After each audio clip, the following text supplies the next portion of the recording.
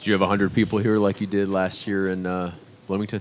Uh, no, maybe 10, 10 family members and friends. Uh, ni- nice little showing, especially uh, for about a four-hour trip for most of them. So uh, it was nice having them here.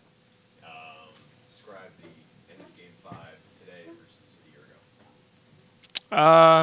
ago. Uh, yeah, I mean, I think it's certainly much more enjoyable. But I mean, when when you play at Indiana, you know, it's only an hour from home for me, so a lot of my family, friends, uh, can really come out and show support. So last year, I just felt really jittery. It was the first time I had played in front of them in a long time, and I just wanted to play well and uh, got got caught up in, the emotion of that and not just playing the game. And uh, so this year I was just focused on trying to help my team win. You look at you guys defensively, just not just tonight, but throughout the year. What's what areas specifically do you think you're better at as a team this year defensively than maybe before? Yeah, I mean, I think we do a really good job of plugging, and uh, our pack line defense is really tough on teams to get in the paint. And when you can't establish something inside by getting driving into the paint or uh, playing through the post, you know, we really dig when we they hit the post. It's it's hard to, you know, score uh, when you. I mean, that's what every team wants to do is play inside out, and uh, when you when you struggle to get in there to make plays, then uh, obviously it makes it tougher on their their offense. So I think our, you know obviously our coaches have also done a great job of giving us a game plan, guys who we can help off of, guys we can't leave, and we've done a great job of executing that as well. Ryan, I apologize if somebody's asked you this question. Were um, were you recruited at all by Indiana? No. Was it a school you might have um, thought about going to if you had been? Yeah, I would have considered it, um, but I mean that's in the past. I'm I'm really happy with where I'm at. Uh, we've we've done something really special here, and we'll continue to build it.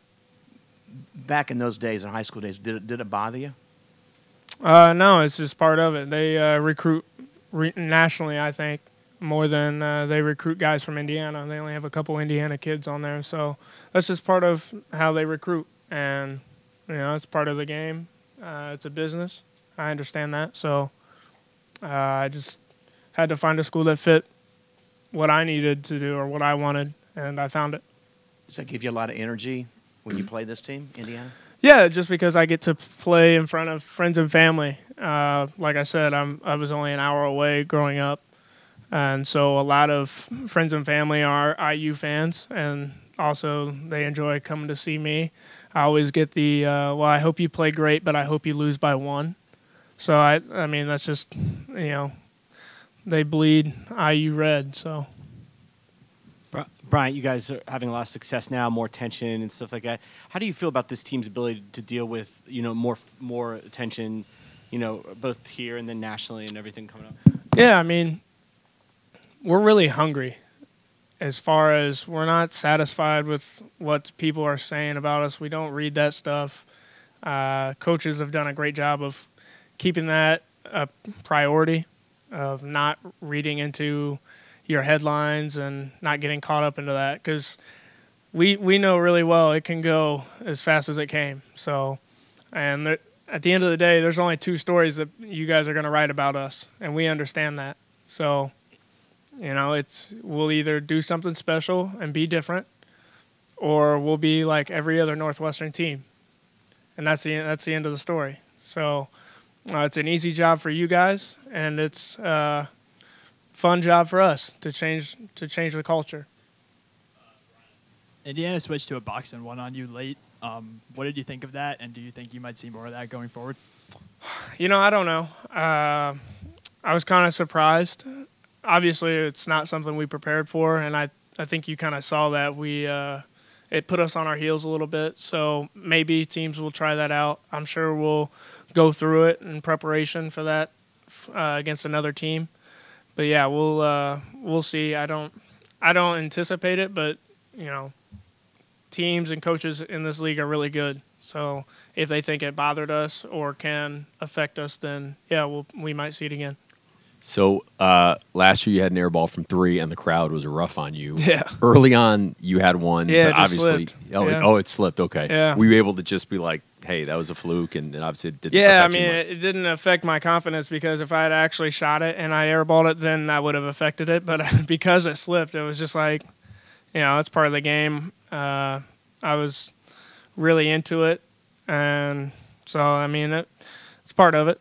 Everybody shoots one. It's all good.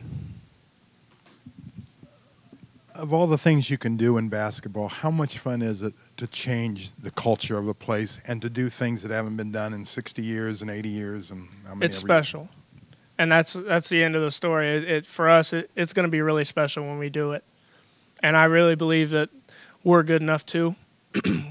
There's things we have to get better at. We have to get a little bit tougher, and we can be really, really good. But I mean, like I said, we we feel we are really good, but we, we can be even better, which I think is scary. And yeah, I mean that's that's the fun part. Going in each and every day and understanding what everyone thinks of this program and kind of allowing that to be a little bit of a fire in our bellies to and it stokes right there that you know we have to be different like th- this this is over this isn't this isn't the same northwestern Anything else? Yeah, tougher. What do you mean? Yeah, I mean, we just have to make tougher plays. I think they uh, they bullied us on a little bit on the boards early. Uh, offensively, early we were a little jittery. Uh, we can execute better. We turned it over late. There's a there's a lot of things we can grow from, but you know, we put in our we put ourselves in great position to win the game. But like I said, there's Coach Collins, our staff, and definitely myself are never satisfied with a win. Um, we always are in pursuit of perfection, but understand that it's not it's not attainable. It's this is an imperfect game, but we'll continue striving for that.